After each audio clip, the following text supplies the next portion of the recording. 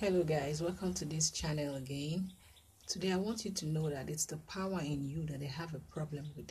It's not about anything you have or do not have.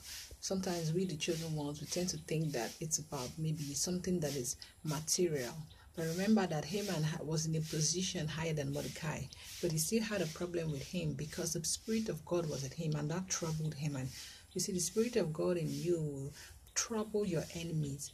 Darkness will always be frustrated around light because they cannot stay together because the spirits do not agree. So these people have a problem with you not because of anything that you are. Even when they have way more than you, they still tend to be jealous of you. Even when they are in higher positions, they still tend to want to bring you down, even though in the eyes of the world they are way higher than you you know. And David wasn't even bothered by Saul, but Saul was somehow bothered by David, even though he was still king at the time. So I want you to know that you are royalty, but in a spirit realm, there's a crown on your head that the wicked see, that the devil sees, and he doesn't like it. You need to stay strong and know that you are way more than anything that there can ever be in this world. And that is why they are scared of you. That is why they are threatened by you. That is why they feel the need to bother you. But you are surrounded by angels, chosen ones. There is nothing that the enemy can do to bring down the one that the Lord has lifted up. I'll see you next time. Do not forget to subscribe and share the video so that others can watch this word and be encouraged. Thank you.